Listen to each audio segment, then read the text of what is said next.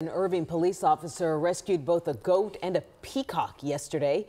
But we just got that video today, so check it out. Irving PD body camera video shows the officer using french fries to coax a goat out from under that truck.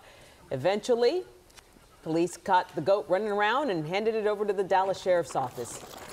And then, right after that call, the same officer helped a peacock with a broken leg. Officer Turner caught the bird and put it in his squad car, took it to an animal shelter to receive care. All of this happened yesterday. Same officer, same day, same heart. I, am going to call him St. Francis of Assisi.